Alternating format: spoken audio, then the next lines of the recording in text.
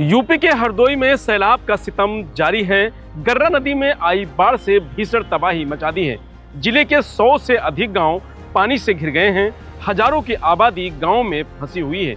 ऐसे में एसडीआरएफ की टीम भी मौके पर पहुंचकर राहत बचाव में जुटी हुई है। पानी का बहाव इतनी तेज है कि शाहबाद पाली स्टेट हाईवे पर 50 फीट सड़क पानी में बह गई है। ऐसे में दोनों तरफ़ से आवागमन पूर्णतः बंद कर दिया गया है। वहीं बाढ़ पीड़ितों में प्रशासन को लेकर गुस्सा है। लोगों का कहना है कि वह बेहद परेशान है। प्रशासन से उनको कोई मदद नहीं मिल रही है। बाढ़ की स्थिति बेहद दुखदाई है। लोग तीन दिनों से अपने अपने मकानों में घरों में छतों पे बैठे हैं। एक्चुअली जो ये है पाली और शाहबाद के बीच का मार्ग है जहाँ से हम लोगों का आवागमन होता है ये पुलिया थी यहाँ पे। और ये धीमे धीमे करके रोड कटता जा रहा है। कोई भी प्रशासन की व्यवस्था नहीं हो पा रही है और जो गाँव डूबे हुए हैं यहाँ पे लोग बहुत ज़्यादा फंस चुके हैं। ना कि उनके खाने की व्यवस्था है और ना ही उनको निकाल निकाला जा पा रहा है। एकमात्र जो प्रशासन ने वाटर ये मोटर बोट दी हुई है यही एकमात्र आने जाने का साधन है। ये गर्रा है और फ़िलहाल ये जहाँ पे आप खड़े हुए हैं ये परेली ग्राम है।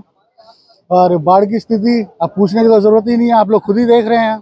और बाकी प्रशासन का कोई अभी हमको तो वो लाभ दिखाई नहीं दे रहा है कि यहाँ पे कोई दिखाई दे रहा हो। और सड़क तो पूरा कटा हुआ है। आप देख सकते हैं आवागमन पूरी तरीके से बाधित है। भैया जो हमारा गाँव कहार कोरा गाँव है, और यहाँ पर बहुत बुरी स्थिति है, हम लोग बाहर नहीं जा सकते हैं, और यहाँ कोई आवागमन का साधन नहीं रहा, हमारे यहाँ पुलिया और सड़क बनवाई गई, वो कतई क्षतिग्रस्त हो गई है।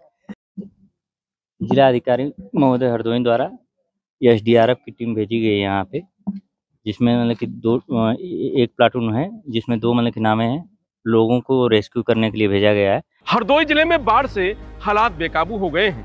हर तरफ़ बाढ़ का पानी ही पानी नज़र आ रहा है। बाढ़ग्रस्त इलाकों में स्थिति यह है कि गाँव में कमर से ऊपर पानी भरा हुआ है। ऐसे में बाढ़ग्रस्त गाँव में लोगों को खाने पीने के साथ ही रहने और जानवरों के लिए चारे का प्रबंध करना भी मुश्किल हो गया है। करीब दस हज़ार से अधिक की आबादी अभी भी बाढ़ग्रस्त क्षेत्र में फंसी हुई है। लोग घरों की छत पर रह रहे हैं। तो वहीं लोग पानी में रहने और जानवर बांधने को मजबूर हैं। एसडीआरएफ की टीम बाढ़ प्रभावित क्षेत्र में जाकर बाढ़ में फंसे लोगों को निकालने का प्रयास कर रही है। साथ ही प्रशासनिक महकमा राशन सामग्री और भोजन के पैकेट बाढ़ पीड़ितों तक भिजवाने का दावा कर रहा है। ग्रामीणों के लिए प्रशासन की यह मदद ऊँट के मुँह में जीरा साबित हो रही है। ग्रामीणों का कहना है कि कुछ स्थानों पर ही प्रशासनिक अफसरों ने राहत सामग्री बंटवाई है। जबकि अभी तक उनके पास कोई भी राहत सामग्री नहीं पहुँची है। ऐसे में लोगों का जीना मुहाल हो गया है। साथ ही बाढ़ के पानी में तमाम जगहों पर अन्ना पशु भी फंसे हुए हैं, जिनकी हालात दयनीय है।